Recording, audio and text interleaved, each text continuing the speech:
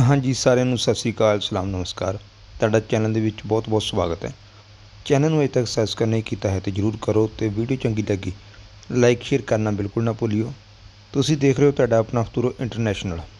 ਸਭ ਤੋਂ ਪਹਿਲਾਂ ਦੱਸਾਂਗੇ ਕਿ ਜਿਹੜਾ ਯੂਰੋ ਦਾ ਰੇਟ ਹੈ ਜੀ, ਬਹੁਤ ਜ਼ਿਆਦਾ ਵੱਧ ਚੁੱਕਾ ਹੈ। 92 ਰੁਪਏ 9 ਪੈਸੇ ਦੇ ਉੱਤੇ ਰੇਟ ਚੱਲ ਰਿਹਾ ਹੈ। ਰੇਟ ਜਿਹੜਾ ਕਾਫੀ ਉੱਪਰ ਜਾ ਚੁੱਕਾ ਹੈ।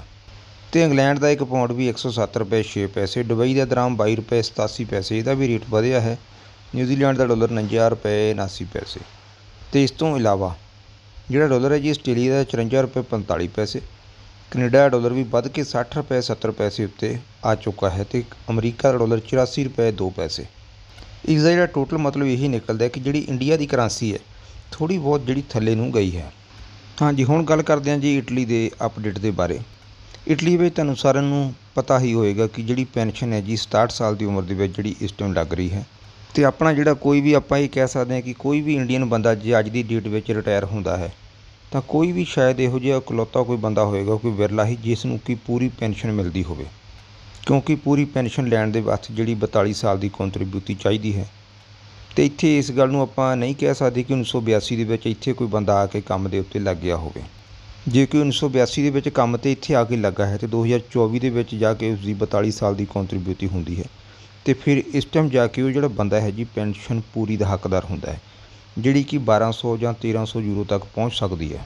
ਜ਼ਿਆਦਾਤਰ ਜਿਹੜੇ ਆਪਣੇ ਪੰਜਾਬੀ ਲੋਕ ਇੰਡੀਆ ਤੋਂ ਆਏ ਸਨ, ਪੰਜਾਬ ਤੋਂ ਆਏ ਸਨ, ਤਕਰੀਬਨ ਲੋਕਾਂ ਨੇ ਇੱਥੇ ਆ ਕੇ ਕਿਸੇ ਨੇ 95 ਦੇ ਵਿੱਚ ਪੱਕਾ ਕੰਮ ਸ਼ੁਰੂ ਕੀਤਾ ਤੇ ਕਿਸੇ ਨੇ 96 ਕਿਸੇ ਨੇ 98 ਵਿੱਚ। ਤਕਰੀਬਨ ਜੇ ਅੱਜ ਦੀ ਡੇਟ ਵਿੱਚ ਦੇਖੀਏ ਤੇ ਕਈਆਂ ਦੀ ਜਿਹੜੀ 25 ਕੁ ਸਾਲ ਦੀ ਕੰਟਰੀਬਿਊਟੀ ਬਣਦੀ ਹੈ, ਕਿਸੇ ਦੀ 28 ਸਾਲ ਦੀ, ਕਿਸੇ ਦੀ 24 ਸਾਲ ਦੀ। ਜਿਹੜੀ ਇਹਨਾਂ ਦੀ ਪੈਨਸ਼ਨ ਹੈ ਜੀ 7-800 ਯੂਰੋ ਤੱਕ 850 ਯੂਰੋ ਤੱਕ ਜਿਹੜੀ ਨਾਰਮਲ ਲੱਗਦੀ ਹੈ। ਇਹ ਜਿਹੜੀ ਆਪਾਂ ਇੱਕ ਸਰਸਰੀ ਗੱਲ ਕਰ ਰਹੇ ਹਾਂ, ਜ਼ਰੂਰੀ ਨਹੀਂ ਹੈ ਕਿ ਇਹਦੇ ਵਿੱਚ ਕਿਸੇ ਦੀ ਪੈਨਸ਼ਨ 700 ਲੱਗੇ ਤੇ ਕਿਸੇ ਦੀ ਜਿਹੜੀ 900 ਲੱਗੇ। ਹੁਣ ਆਪਾਂ ਜਿਹੜੀ ਗੱਲ ਕਰਾਂਗੇ ਕਿ ਜੇ ਕਿਸੇ ਬੰਦੇ ਨੇ ਮੰਨ ਲਓ ਸਪੋਜ਼ ਕਰੋ ਕਿ ਇਟਲੀ ਦੇ ਵਿੱਚ ਕੋਈ ਕੰਮ ਵੀ ਨਹੀਂ ਕੀਤਾ, ਤੇ ਉਹ ਬੰਦਾ ਜਿਹੜਾ ਹੈ ਜੀ ਬਿਨਾਂ ਕੰਮ ਤੋਂ ਉਸਨੇ ਕੋਈ ਵੀ ਕੰਟਰੀਬਿਊਟੀ ਇਟਲੀ ਦੇ ਵਿੱਚ ਨਹੀਂ ਤਾਰੀ। ਜਿੱਦਾਂ ਕਿ ਇਟਲੀ ਦੇ ਵਿੱਚ ਇੱਕ ਨਿਯਮ ਹੈ ਕਿ ਕੋਈ ਵੀ ਬੰਦਾ ਅਗਰ 20 ਸਾਲ ਇੱਥੇ ਕੰਟਰੀਬਿਊਟੀ ਤਾਰਦਾ ਹੈ, ਮਤਲਬ ਕਿ ਜਿਹੜੇ ਪੈਸੇ ਪੇ ਕਰਦਾ ਹੈ ਤੇ ਜਿਹੜੀ ਉਸਦੀ ਉਮਰ ਹੈ ਜੀ 67 ਸਾਲ ਦੀ ਹੋ ਜਾਂਦੀ ਹੈ ਤੇ ਉਸ ਨੂੰ ਜਿਹੜੀ ਪੈਨਸ਼ਨ ਮਿਲਦੀ ਹੈ। ਸਪੋਜ਼ ਕਰੋ ਕਿ ਤੁਸੀਂ 2004 ਦੇ ਵਿੱਚ, ਇਟਲੀ ਦੇ ਵਿੱਚ ਆ ਕੇ ਕੰਮ ਸ਼ੁਰੂ ਕੀਤਾ ਤੇ ਉਸ ਟਾਈਮ ਜਿਹੜੀ ਉਮਰ ਤੁਹਾਡੀ ਸੀ 47 ਸਾਲ ਤੇ ਅੱਜ ਦੀ ਡੇਟ ਵਿੱਚ ਤੁਹਾਡੀ ਜਿਹੜੀ ਉਮਰ ਹੈ ਜੀ 2024 ਚ 67 ਸਾਲ ਦੀ ਹੋ ਚੁੱਕੀ ਹੈ ਤੇ ਜਿਹੜਾ ਕੰਮ ਤੁਸੀਂ 20 ਸਾਲ ਕਰ ਲਿਆ ਹੈ ਤੇ ਇਹਦਾ ਮਤਲਬ ਇਹੀ ਹੈ ਕਿ ਤੁਸੀਂ ਜਿਹੜੇ ਪੈਨਸ਼ਨ ਦੇ ਹੱਕਦਾਰ ਹੋ ਤੇ ਤੁਹਾਨੂੰ 20 ਸਾਲ ਦੀ ਕੰਟਰੀਬਿਊਟੀ ਉੱਤੇ ਕੈਲਕੂਲੇਸ਼ਨ ਕੀਤੀ ਜਾਵੇਗੀ, ਉਸ ਹਿਸਾਬ ਦੇ ਨਾਲ ਜਿਹੜੀ ਪੈਨਸ਼ਨ ਮਿਲੇਗੀ। ਹੋ ਸਕਦਾ ਕਿ ਉਹ 700 ਯੂਰੋ ਬਣੇ। ਬਾਕੀ ਆਪਾਂ ਗੱਲ ਕਰ ਰਹੇ ਹਾਂ ਕਿ ਜਿਨ੍ਹਾਂ ਲੋਕਾਂ ਨੇ ਕੋਈ ਵੀ ਇਟਲੀ ਵਿੱਚ ਕੰਮ ਨਹੀਂ ਕੀਤਾ, ਉਹ ਇਟਲੀ ਵਿੱਚ ਕਿੰਨੀ ਪੈਨਸ਼ਨ ਲੈ ਸਕਦੇ ਹਨ ਤੇ ਕਿੰਨੀ ਉਮਰ ਵਿੱਚ ਉਹਨਾਂ ਨੂੰ ਪੈਨਸ਼ਨ ਮਿਲੇਗੀ, ਜਿਨ੍ਹਾਂ ਨੇ 1 ਸਾਲ ਦੀ ਕੰਟਰੀਬਿਊਟੀ ਵੀ ਨਹੀਂ ਤਾਰੀ। ਤੇ ਇਹਦੇ ਵਾਸਤੇ ਜਿਹੜੀਆਂ ਕੁਝ ਸ਼ਰਤਾਂ ਹਨ, ਪਹਿਲਾਂ ਉਹਨੇ ਸ਼ਰਤਾਂ ਸੁਣੋ। ਇੱਕ ਤਾਂ ਉਸ ਬੰਦੇ ਦੀ ਜਿਹੜੀ ਉਮਰ ਹੈ ਜੀ 67 ਸਾਲ ਦੀ ਹੋਣੀ ਚਾਹੀਦੀ ਹੈ। 67 ਸਾਲ ਦੀ ਉਮਰ ਉਸਨੇ ਪੂਰੀ ਕੀਤੀ ਹੋਣੀ ਚਾਹੀਦੀ ਹੈ। ਦੂਜਾ ਜੋ ਬੰਦਾ ਜਿਹੜਾ ਹੈ ਜੀ, ਇੱਥੇ ਦਾ ਇਟਾਲੀਅਨ ਨਾਗਰਿਕ ਹੋਣਾ ਚਾਹੀਦਾ ਹੈ। ਮਤਲਬ ਕਿ ਉਸਦੇ ਕੋਲ ਘੱਟੋ ਘੱਟ ਜਿਹੜਾ ਪਾਸਪੋਰਟ ਇੱਥੋਂ ਦਾ ਆ ਜਾਵੇ, ਚੰਗੀ ਗੱਲ ਹੈ। ਤੇ ਇਟਲੀ ਵਿੱਚ ਜਿਹੜਾ ਉਸਦਾ ਰੈਜ਼ੀਡੈਂਸ ਹੈ ਜੀ, ਲਗਾਤਾਰ 10 ਸਾਲ ਦਾ ਚੱਲਦਾ ਹੋਣਾ ਚਾਹੀਦਾ ਹੈ। ਤੇ ਜਿਹੜੀ ਉਸਦੀ ਰਿਆਦੀ ਤੋਂ ਐਨੁਆਲੇ ਹੈ ਜੀ 6947 ਯੂਰੋ ਤੱਕ ਜਾਂ ਇਸ ਤੋਂ ਘੱਟ ਹੋਵੇ। ਜੇ ਉਹ ਇਕੱਲਾ ਹੀ ਇੱਥੇ ਜੀ ਰਿਹਾ ਹੈ, ਜੇ ਉਹਦੇ ਨਾਲ ਕੋਈ ਹੋਰ ਬੰਦਾ ਹੈ, ਉਸਦਾ ਕੋਈ ਵਾਈਫ ਕਹਿ ਸਕਦੇ ਜਾਂ ਹਸਬੈਂਡ ਤੇ ਜਿਹੜੀ ਉਹਨਾਂ ਦੀ ਆਮਦਨ ਹੈ ਜੀ 13894 ਯੂਰੋ ਜਾਂ ਇਸ ਤੋਂ ਘੱਟ ਹੋਵੇ। ਹੁਣ ਜਿਹੜੀ ਉਹਨਾਂ ਨੂੰ ਪੈਨਸ਼ਨ ਲੱਗੇਗੀ, ਜਿਸ ਨੂੰ ਆਪਾਂ ਸੈਨੀਓ ਸੋਚਿਆਲੇ ਕਹਿੰਦੇ ਹਾਂ, ਜਿਹੜੀ ਉਹਦੀ ਕਿੰਨੀ ਰਕਮ ਬਣਦੀ ਹੈ 534 ਯੂਰੋ ਤੇ 41 ਸੈਂਟ ਜਿਹੜੀ ਉਹਨਾਂ ਦੀ ਮਹੀਨੇ ਦੀ ਪੈਨਸ਼ਨ ਲੱਗਦੀ ਹੈ। ਇੱਥੇ ਤੁਹਾਨੂੰ ਇਹ ਦੱਸ ਦਈਏ ਕਿ ਜੇ ਉਹਨਾਂ ਦੀ ਆਮਦਨ ਜ਼ੀਰੋ ਹੈ ਤਾਂ ਇਹ ਪੈਨਸ਼ਨ ਲੱਗੇਗੀ। ਜੇ ਉਹਨਾਂ ਦੀ ਆਮਦਨ ਜਿਹੜੀ ਜ਼ਿਆਦਾ ਹੈ, ਮਤਲਬ ਕਿ ਜਿਹੜੀ ਲਿਮਟ ਤੋਂ ਘੱਟ ਹੈ, ਜਿੰਨੀ ਤੁਹਾਨੂੰ ਲਿਮਟ ਦੱਸੀ ਹੈ, ਤੇ ਬਾਕੀ ਲਿਮਟ ਤੋਂ ਜ਼ੀਰੋ ਤੋਂ ਜ਼ਿਆਦਾ ਹੈ, ਤਾਂ ਫਿਰ ਜਿਹੜੀ ਉਹਨਾਂ ਦੀ ਪੈਨਸ਼ਨ ਹੈ ਜੀ, ਤਕਰੀਬਨ 435 ਯੂਰੋ ਮਹੀਨੇ ਦੀ ਲੱਗਦੀ ਹੈ। ਇੱਥੋਂ ਤੁਸੀਂ ਜਿਹੜੀ ਕੈਲਕੂਲੇਸ਼ਨ ਕੱਢ ਸਕਦੇ ਹੋ ਬਾਕੀ ਅਗਲੀ ਖਬਰ ਜਿਹੜੀ ਹੈ ਜੀ 1000 ਯੂਰੋ ਜਿਹੜਾ ਬੋਨਸ ਹੈ ਜੀ, ਇਹ ਜਿਹੜਾ ਸਿੱਧਾ ਤੁਹਾਡੇ ਈਵੈਂਟ ਦੇ ਵਿੱਚ ਆ ਸਕਦਾ ਹੈ। ਕਿਹਨਾਂ ਲੋਕਾਂ ਨੂੰ ਜਿਹੜਾ ਇਹ ਬੋਨਸ ਮਿਲ ਸਕਦਾ ਹੈ? ਕੌਣ ਇਹਨਾਂ ਦੇ ਵਾਸਤੇ ਹੱਕਦਾਰ ਹਨ? ਜਿਹੜੀ ਪੂਰੀ ਖਬਰ ਤੁਹਾਨੂੰ ਦੱਸਣ ਜਾ ਰਹੇ ਹਾਂ, ਧਿਆਨ ਦੇ ਨਾਲ ਸੁਣਿਓ। ਸਭ ਤੋਂ ਪਹਿਲਾਂ ਹੈ ਜੀ 1000 ਯੂਰੋ ਦਾ ਬੋਨਸ।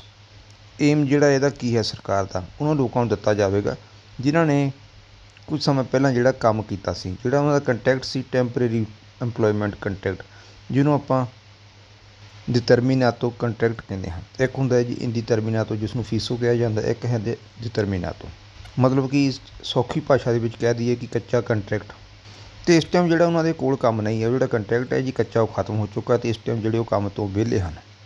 ਹੁਣ ਇਹ ਜਿਹੜਾ ਕੰਟਰੈਕਟ ਹੁੰਦਾ ਜੀ, ਇਹਦੇ ਵਿੱਚ ਤਿੰਨ ਹਿੱਸੇਦਾਰ ਹੁੰਦੇ ਹਨ। ਇੱਕ ਤਾਂ ਉਹ ਬੰਦਾ ਹੁੰਦਾ ਹੈ, ਦੂਸਰਾ ਜਿਹੜਾ ਦਤੋਰੇ ਦੀ ਲੋਰ ਜਿਹੜਾ ਮਾਲਕ ਹੁੰਦਾ ਹੈ, ਤੀਸਰਾ ਹੁੰਦਾ ਹੈ ਜੀ ਏਜੰਸੀ ਏਮਪਲੋਇਮੈਂਟ ਏਜੰਸੀ ਹੁਣ ਇਹ ਜਿਹੜਾ ਫਾਇਦਾ ਕਿਹਨਾਂ ਲੋਕਾਂ ਨੂੰ ਮਿਲ ਸਕਦਾ ਹੈ? ਜਿਨ੍ਹਾਂ ਨੇ ਦੱਸਿਆ ਗਿਆ ਹੈ ਕਿ ਘੱਟੋ ਘੱਟ 110 ਦਿਨ ਜਿਹੜਾ ਇਹਨਾਂ ਨੇ ਕੰਮ ਕੀਤਾ ਹੈ ਤੇ 45 ਦਿਨ ਤੋਂ ਜ਼ਿਆਦਾ ਸਮਾਂ ਇਹਨਾਂ ਨੂੰ ਹੋ ਚੁੱਕਾ ਹੈ ਵਿਹਲਿਆਂ ਨੂੰ। ਤੇ ਇਹਨਾਂ ਨੇ ਜਿਹੜਾ ਐਮ ਓ ਐਲ ਪ੍ਰੋਸੀਜਰ ਹੈ ਜੀ, ਇਹ ਕੰਪਲੀਟ ਕਰ ਲਿਆ ਹੈ। ਇਹਦੇ ਵਿੱਚ ਇਸ ਤਰ੍ਹਾਂ ਹੁੰਦਾ ਹੈ ਕਿ ਸਾਡੇ ਕੋਲ ਅੱਗੇ ਜਾਣੀ ਕਿ ਕੰਮ ਦੀ ਜਿਹੜੀ ਕਮੀ ਹੈ, ਇੱਕ ਤਰ੍ਹਾਂ ਦਾ ਡਾਕੂਮੈਂਟ ਜਿਹੜਾ ਹੁੰਦਾ ਹੈ ਜੀ, ਇਹ ਹਾਸਲ ਕਰ ਲਿਆ ਹੈ। ਸੋ ਜਿਹੜੇ ਐਕਸਪਰਟ ਹਨ, ਜਿਹੜੇ ਦਮਾਦੇ ਵਗੈਰਾ ਇਹਨਾਂ ਚੀਜ਼ਾਂ ਦੀ ਕਰਦੇ ਹਨ, ਤੁਸੀਂ ਉਹਨਾਂ ਦੇ ਨਾਲ ਜਿਹੜਾ ਕੰਸਲਟ ਕਰ ਸਕਦੇ ਹੋ। ਤੇ 1000 ਯੂਰੋ ਦਾ ਜਿਹੜਾ ਬੋਨਸ ਹੈ ਜੀ ਡਾਇਰੈਕਟ ਜਿਹੜਾ ਅਕਾਊਂਟ ਦੇ ਵਿੱਚ ਆਵੇਗਾ। ਹੁਣ ਗੱਲ ਕਰੀਏ ਉਹਨਾਂ ਲੋਕਾਂ ਦੇ ਬਾਰੇ, ਜਿਹੜੇ ਗੱਡੀਆਂ ਇਟਲੀ ਵਿੱਚ ਚਲਾਉਂਦੇ ਹਨ, ਕਾਰ ਵੀ ਹੋ ਸਕਦੀ ਹੈ ਤੇ ਮੋਟਰਸਾਈਕਲ ਵੀ ਹੋ ਸਕਦਾ ਹੈ। ਇਟਲੀ ਦੇ ਵਿੱਚ ਜਿਹੜੇ ਸੁਪਰ ਸਤਰਾਦੇ ਹਨ, ਜਿਹੜੇ ਕਿ ਆਟੋ ਸਤਰਾਦੇ ਹਨ, ਉਹਨਾਂ ਤੇ 130 ਕਿਲੋਮੀਟਰ ਦੀ ਜਿਹੜੀ ਸਪੀਡ ਹੈ ਜੀ, ਘੰਟੇ ਦੀ, ਉਸ ਸਪੀਡ ਤੇ ਤੁਸੀਂ ਗੱਡੀ ਚਲਾ ਸਕਦੇ ਹੋ। ਜੇ ਤੁਹਾਡਾ ਜਿਹੜਾ ਲਾਇਸੈਂਸ ਹੈ ਜੀ, ਮਤਲਬ ਕਿ ਪਹਿਲੇ ਜਿਹੜੇ ਸਾਲ ਪਾਰ ਕਰ ਚੁੱਕਾ ਹੈ। ਹੁਣ ਇੱਥੇ ਦੱਸ ਦਈਏ ਕਿ ਜੇ ਤੁਸੀਂ ਜਿੰਨੀ ਕਿਸੇ ਵੀ ਜਗ੍ਹਾ ਦੇ ਉੱਤੇ ਲਿਮਟ ਲਿਖੀ ਹੈ, ਜੇ ਕਿਸੇ ਜਗ੍ਹਾ ਉੱਤੇ 130 ਦੀ ਸਪੀਡ ਲਿਮਟ ਹੈ ਤੁਸੀਂ ਅਗਰ 140 ਦੇ ਉੱਤੇ ਜਾ ਰਹੇ ਹੋ 10 ਕਿਲੋਮੀਟਰ ਵੱਧ ਜਿਹੜੀ ਸਪੀਡ ਤੁਸੀਂ ਕੀਤੀ ਹੋਈ ਹੈ ਗੱਡੀ ਦੀ, ਤੁਸੀਂ ਫੜੇ ਜਾਂਦੇ ਹੋ ਜਾਂ ਕੈਮਰੇ ਦੇ ਵਿੱਚ ਆ ਜਾਂਦੇ ਹੋ। ਤੇ ਜਿਹੜਾ ਮੂਲਤ ਹੈ ਜੀ 42 ਯੂਰੋ ਤੋਂ ਲੈ ਕੇ 173 ਯੂਰੋ ਦਾ ਹੁੰਦਾ ਹੈ। ਜੇ ਤੁਹਾਡੀ ਜਿਹੜੀ ਸਪੀਡ ਹੈ ਜੀ ਰეკਮੈਂਡਡ ਸਪੀਡ ਤੋਂ 10 ਤੋਂ ਲੈ ਕੇ 40 ਕਿਲੋਮੀਟਰ ਤੱਕ ਜ਼ਿਆਦਾ ਹੈ, ਮਤਲਬ ਕਿ 130 ਦੀ ਸਪੀਡ ਤੇ ਤੁਸੀਂ ਜਾਣਾ ਸੀ, ਤੇ ਤੁਸੀਂ ਜਾ ਰਹੇ ਹੋ 145 ਦੀ ਸਪੀਡ ਤੇ। ਜਾਂ 160 ਦੀ ਸਪੀਡ ਤੱਕ ਵੀ, ਮਤਲਬ ਕਿ 40 ਕਿਲੋਮੀਟਰ ਤੱਕ ਵੀ ਅਗਰ ਤੁਸੀਂ ਉੱਪਰ ਜਾਂਦੇ ਹੋ 160 70 ਤੱਕ ਵੀ ਅਤੇ ਜਿਹੜਾ ਮੂਲ ਹੈ ਜੀ 177 ਯੂਰੋ ਤੋਂ ਲੈ ਕੇ 694 ਯੂਰੋ ਤੱਕ ਆਏਗਾ। ਅਤੇ ਨਾਲ ਹੀ ਜਿਹੜੀਆਂ ਪੌਂਤੀਆਂ ਕੱਟ ਹੋਣਗੀਆਂ, ਤਿੰਨ ਪੌਂਤੀਆਂ ਜਿਹੜੀਆਂ ਪਤੈਂਤੇ ਦੇ ਵਿੱਚੋਂ ਕੱਟ ਹੋਣਗੀਆਂ। ਹੁਣ ਜੇ ਆਟੋ ਸਟਾਰ ਦੇ ਉੱਤੇ ਜਿਹੜੀ ਸਪੀਡ ਹੈ ਜੀ 130 ਦੀ ਹੈ, ਤੇ ਤੁਹਾਡੀ ਜਿਹੜੀ ਸਪੀਡ ਹੈ ਜੀ 170 ਕਿਲੋਮੀਟਰ ਤੋਂ ਉੱਪਰ ਜਾ ਰਹੇ ਹੋ, ਤੇ ਉਸ ਟਾਈਮ ਜਿਹੜਾ ਮੂਲ ਹੈ ਜੀ 543 ਯੂਰੋ ਤੋਂ ਲੈ ਕੇ 3382 ਯੂਰੋ ਤੱਕ ਆਏਗਾ। ਤੇ ਜਿਹੜਾ ਲਾਇਸੈਂਸ ਹੈ ਜੀ ਇੱਕ ਤੋਂ ਲੈ ਕੇ ਤਿੰਨ ਮਹੀਨਿਆਂ ਵਾਸਤੇ ਜਿਹੜਾ ਸਸਪੈਂਡ ਹੋ ਸਕਦਾ ਹੈ। ਅਤੇ ਜਿਹੜੀਆਂ ਪੌਂਤੀਆਂ ਘੱਟ ਹੋਣਗੀਆਂ, ਛੇ ਪੌਂਤੀਆਂ ਘੱਟ ਹੋਣਗੀਆਂ। ਹੁਣ ਜੇ ਤੁਸੀਂ ਜਿਹੜੀ ਸਪੀਡ ਹੈ ਜੀ 130 ਦੀ ਸਪੀਡ ਰეკਮੈਂਡਡ ਹੈ ਮੈਕਸਿਮਮ ਤੇ ਤੁਸੀਂ ਜਾ ਰਹੇ ਹੋ 190 ਸਪੀਡ ਤੇ 190 ਜਾਂ ਇਸ ਤੋਂ ਉੱਪਰ। ਤੇ ਉਸ ਟਾਈਮ ਜਿਹੜਾ ਜੁਰਮਾਨਾ ਹੋਏਗਾ ਘੱਟੋ ਘੱਟ 845 ਯੂਰੋ ਤੇ ਜ਼ਿਆਦਾ ਤੋਂ ਜ਼ਿਆਦਾ 3382 ਯੂਰੋ ਤੇ ਜਿਹੜਾ ਸਸਪੈਂਡ ਹੋਏਗਾ ਪਤੈਂਤ ਜਿਹੜਾ ਉਹਦਾ ਟਾਈਮ ਹੈ ਜੀ ਉਹ ਵੱਧ ਜਾਏਗਾ 6 ਮਹੀਨੇ ਤੋਂ ਲੈ ਕੇ 1 ਸਾਲ ਤੱਕ। ਤੇ ਜਿਹੜੀਆਂ ਪੌਂਤੀਆਂ ਘੱਟ ਹੋਣਗੀਆਂ 10 ਪੌਂਤੀਆਂ। ਇਹ ਜਿਹੜੇ ਨਵੇਂ ਹਾਈਵੇ ਕੋਡ ਬਣੇ ਹਨ, ਉਹਨਾਂ ਦੇ ਉੱਪਰ ਤੁਹਾਨੂੰ ਦੱਸ ਰਹੇ ਹਾਂ।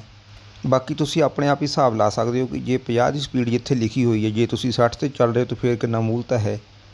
90 ਤੇ ਜਾ ਰਹੇ ਹੋ ਤੇ ਫਿਰ ਕਿੰਨਾ ਮੂਲਤਾ ਬਣਦਾ ਹੈ। ਤੁਸੀਂ ਹੁਣ ਜਿਹੜੀ ਕੈਲਕੂਲੇਸ਼ਨ ਆਪ ਕਰਨੀ ਹੈ। ਬਾਕੀ ਚੈਨਲ ਜਿਨ੍ਹਾਂ ਵੀਰਾਂ ਨੇ ਅਜੇ ਤੱਕ ਸਬਸਕ੍ਰਾਈਬ ਨਹੀਂ ਕੀਤਾ ਹੈ, ਬੇਨਤੀ ਹੈ ਕਿ ਜਰੂਰ ਕਰਿਓ। ਵੀਡੀਓ ਅਗਰ ਤੁਹਾਨੂੰ ਚੰਗੀ ਲੱਗਦੀ ਹੈ ਤਾਂ ਲਾਈਕ ਸ਼ੇਅਰ ਕਰਨਾ ਵੀ ਬਿਲਕੁਲ ਨਾ ਭੁੱਲਿਓ। ਨੈਕਸਟ ਵੀਡੀਓ ਲੈ ਕੇ ਫਿਰ ਮਿਲਾਂਗੇ ਜੀ। ਵੀਡੀਓ ਦੇਖੀ ਤੁਹਾਡਾ ਸਾਰਿਆਂ ਦਾ ਬਹੁਤ ਬਹੁਤ ਧੰਨਵਾਦ।